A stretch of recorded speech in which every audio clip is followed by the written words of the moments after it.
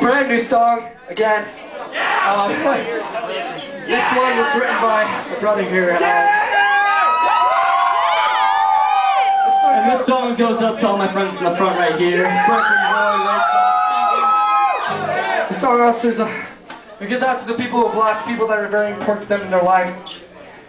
And uh, appreciate these people. Um, this song is called For the Breathing.